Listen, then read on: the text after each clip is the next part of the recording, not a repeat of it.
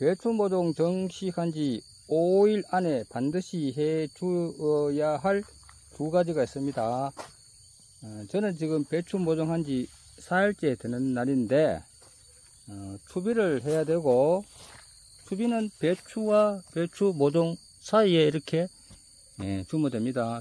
주어야 되고, 또, 어, 배추, 벼룩, 잎벌레 등 해충 방지를 위해서, 어, 농약을 살포해야 합니다. 가루약을 뿌릴 때는 요 일회용 컵에 가루약을 담아가지고 양파망으로 감싸서 뿌리면 골고루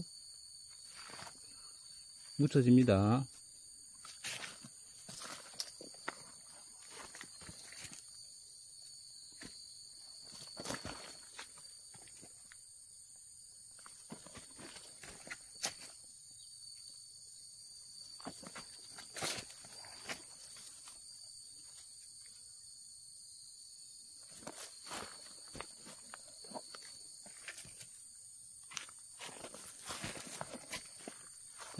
이거 이거 이거 이게 뭐지?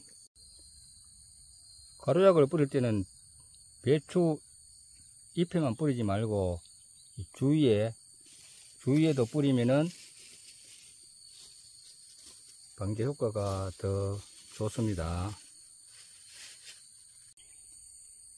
배추 모종 정식한 지 아무리 바빠도 5일 안에는 추비와 병해충 방제를 해 주어야 합니다.